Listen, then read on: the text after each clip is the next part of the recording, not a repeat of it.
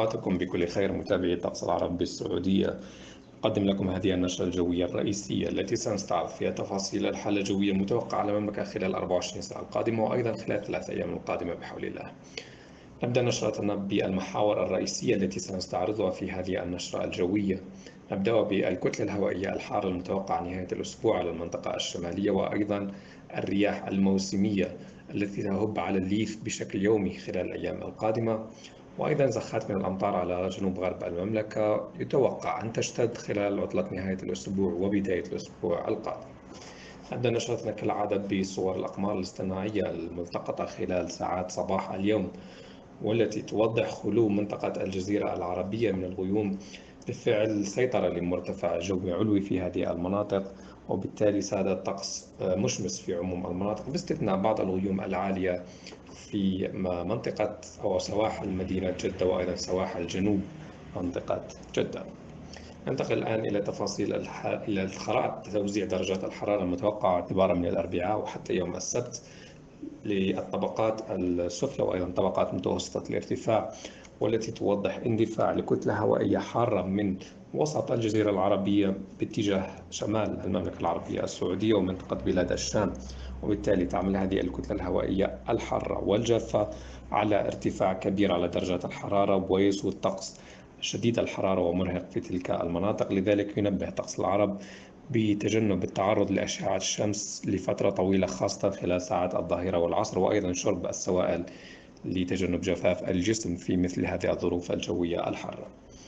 بالنسبة لتوزيع أو خرائط الرياح المتوقعة خلال الأيام القادمة اعتبارا من يوم الأربعاء في منطقة الليث تحديدا حيث بدأت تهب رياح شمالية غربية موسمية تعمل على إثارة الأتربة والغبار تكون نشطة السرعة مع هبات نشطة أيضا حيث تهب رياح نشطة اعتبارا من ساعات ظهيرة وعصر يوم الأربعاء تعمل على إثارة الأتربة والغبار وأيضا تدني مدى الرؤية الأفقية. تتراجع هذه الرياح اعتبارا من ساعات المساء والليل لتعود مجددا وتهب وتنشط اعتبارا من ظهيرة وعصر يوم الخميس على أن تتراجع أيضا بشكل يومي ساعات المساء والليل وتنشط أيضا بشكل يومي خلال ساعات الظهيرة والعصر.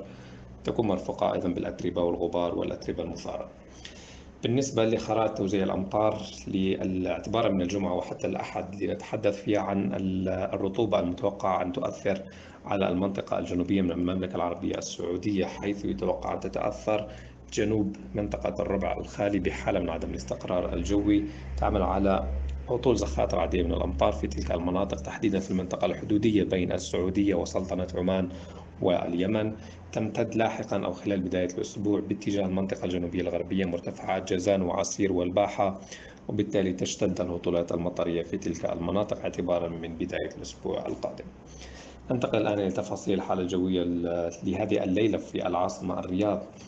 حيث يسود الطقس صافي مع 30 درجة مئوية. بالنسبة للثلاث أيام القادمة المتوقعة في العاصمة الرياض الأربعاء يسود طقس صافي مع 43 درجة مئوية كحرارة عظمى 30 كحرارة دنيا. الخميس انخفاض قليل على درجات الحرارة 42 درجة مئوية كحرارة عظمى أما الصغرى 29 درجة مئوية.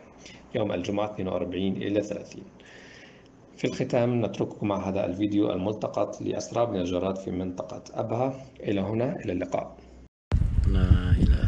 شوفوا الأرض كلها جراد والسماء. الأحمر ده ما بحصل جراد اللي بالأرض. شوفوا شوفوا شوفوا شلون قام ينزل. سبحان الله. يوم الاثنين ثمانية ذو القعدة. أعداد بالملايين.